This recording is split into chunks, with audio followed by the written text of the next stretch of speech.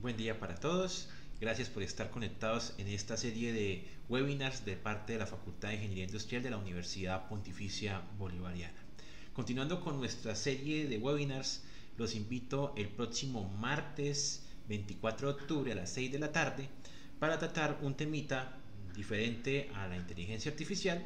En este caso vamos a hablar sobre los impactos de hacer un análisis de costos unitarios cuando hago estudios o diseños de proyectos eléctricos en el sector público y sector privado, a cargo del ingeniero Alexander Carabalí y quien les habla Orlando Federico González Casañas. Entonces, en este nuevo encuentro vamos a profundizar en esos aspectos técnicos y esos aspectos de costeo que se presentan en proyectos de ingeniería, en este caso en los campos de recursos energéticos.